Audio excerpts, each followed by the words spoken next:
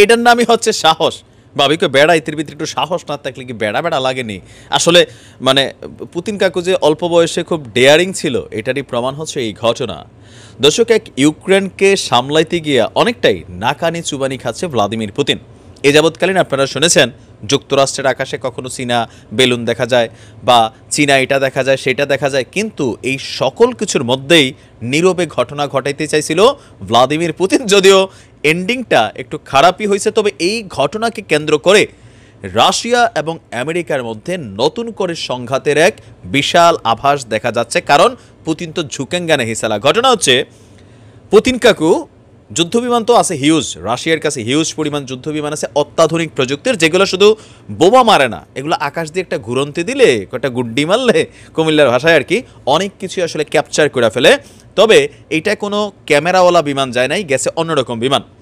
রাশিয়ার চারটি যুদ্ধ বিমান আমেরিকার আলাস্কান এয়ার ডিফেন্স আইডেন্টিফিকেশন জোনে আপনার প্রবেশের চেষ্টা চালিয়েছে বলে অভিযোগ করেছে যুক্তরাষ্ট্র।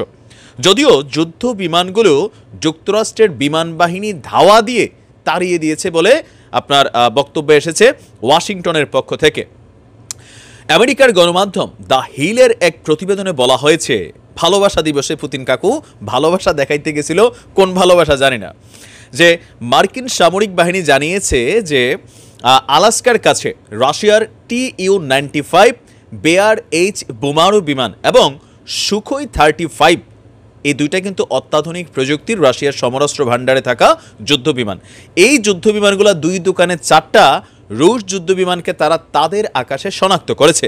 সাথে সাথেই মার্কিন যুদ্ধ বিমানগুলো সেই বিমানগুলোকে তাড়িয়ে আকাশ থেকে দূর করে দিছে। মার্কিন যুক্তরাষ্ট্রের একজন প্রতিরক্ষা কর্মকর্তা জানিয়েছেন, যুক্তরাষ্ট্রের দুটি এফ সিক্সটিন যুদ্ধ বিমান এবং দুটি এফ থার্টি ফাইভ যুদ্ধ বিমানগুলো রাশিয়ার যুদ্ধ বিমানকে ধাওয়া করেছে।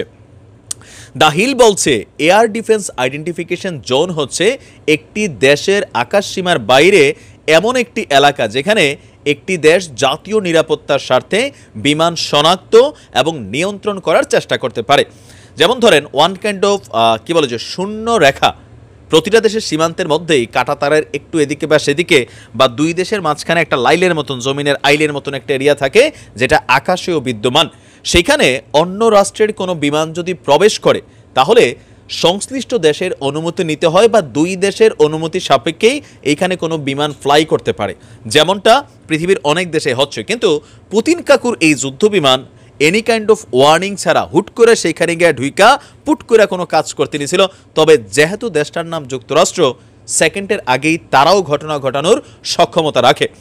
তারা বলছে যে ওদিকে উত্তর আমেরিকার অ্যারোস্পেস ডিফেন্স কমান্ড বা নোরেড বলছে, রাশিয়ার যুদ্ধ বিমানগুলো আন্তর্জাতিক আকাশসীমায় ছিল। আমেরিকা বা কানাডার সার্বভৌম আকাশসীমাতে প্রবেশ করেনি। NORAD Alaskan air defence identification zone বিদেশি বিমান পর্যবেক্ষণ করে এবং প্রয়োজন অনুসারে জোন থেকে তাদেরকে বাইরে যেতেও বাধ্য করে। তবে পুতিন কাকু এই যে এই প্রথম এই ঘটনা করছেন তা না তথ্য বলছে, এর আগে দুই হাজার বাইশ সালের অক্টোবরেও একই ঘটনা ঘটিয়েছিল। ওই ঘটনায়ও রাশিয়ার দুইটি বোমারু বিমান এই জোনে প্রবেশ করেছিল। ওই সময়ও তাদেরকে তাড়িয়ে দেওয়া হয়েছিল। দুই হাজার সাত সাল থেকে বছরে ছয় থেকে সাতটি রুশ যুদ্ধ বিমানকে আলাস্কান এয়ার ডিফেন্স আইডেন্টিফিকেশন জোনে প্রবেশ করতে দেখা গেছে, এমনকি প্রতিবারই তারা বাধার মুখে পড়েছে। এদিকে মস্কোর ইউক্রেনে এই অভিযানকে কেন্দ্র করে যখন যুক্তরাষ্ট্র এবং রাশিয়ার মধ্যে ছায়া যুদ্ধ বিরাজ করছে। এর মাঝখানে যখন এই ধরনের অ্যাক্টিভিটিস সেটা অবশ্যই অতীতের অন্যান্য সময়ের তুলনায় গুরুত্ব হিসাবে একটু আলাদাই ফোকাসে এসেছে। তবে নরেড বলছে, এসব যুদ্ধ বিমানকে তারা কোনো বড় ধরনের হুমকি হিসাবে দেখছে না বাট কোনো রকম কাহিনী হয়তো আছে, সেই জায়গা থেকে হয়তো রাশিয়া এই ধরনের সিদ্ধান্ত নিয়েছিল। এখন কি সিদ্ধান্ত নিছে? পুতিন কাকু আবার মুখে হ্যাঁ মেরাপিটা দিয়ে বসে রয়েছে, কোনো ধরনের বক্তব্য দেয় নাই। বাট কিছু তো একটা ঘটানোর চেষ্টা করছে। বাট ফাইনালি সাহসের কাজ। ধন্যবাদ পুতিনকে। ভালো থাকুন, আসসালামু আলাইকুম।